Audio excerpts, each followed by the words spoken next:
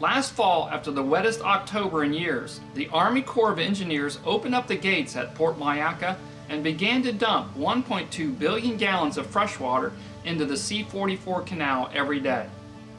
The very next day, a company showed up at Port Mayaca claiming that they had the answer to stop any algal blooms from happening. Its name was Blue Green Water Technologies. Nobody I knew had ever heard of them, and that's because they only started in business two years ago and they were from Israel. This company was hired to monitor the water, and if they detected high levels of toxins, they were going to release their own patented chemical called LakeGuard Oxy right into the C-44 canal. This company received 945,000 of your tax dollars to camp out at Port Mayaca for three weeks, and the firm gets paid whether they have to kill a discharge algae bloom or not. They were gone after three weeks and without ever releasing a drop of their chemical.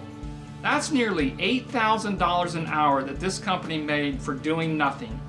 People, you can't make this crap up. On October 29th, the Stuart News front page read, Scientists worry algicides in Lake O will harm the St. Lucie River. There wasn't just one scientist that commented on this story, there were three.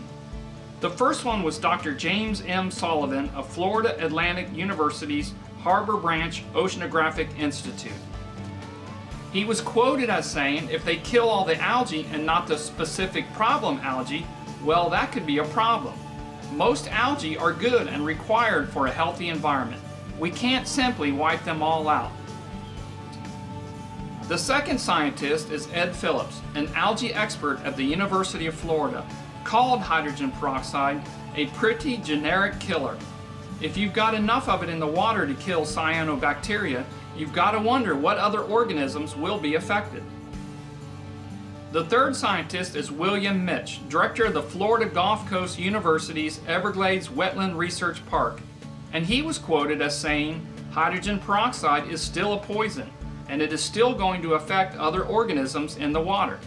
Using chemicals to kill algae should be the last resort to dealing with algae blooms.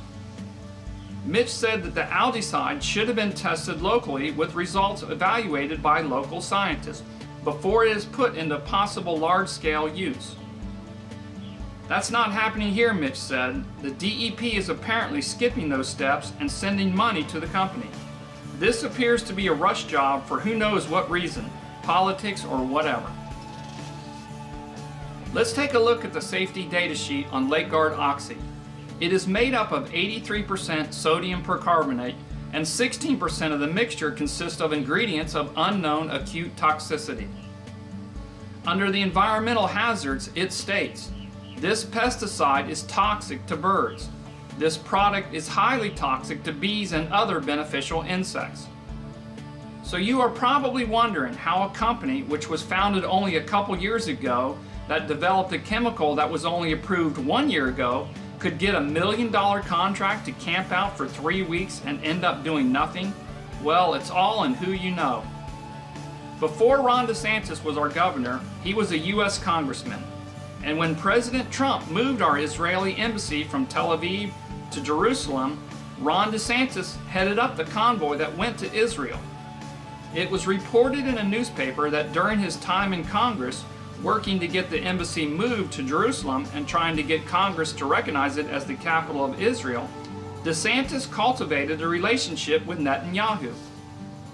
He also developed a relationship with Simon Falic, CEO of Duty Free Americas and one of Netanyahu's top three financial supporters, who also gave $5,000 to DeSantis' bid for governor.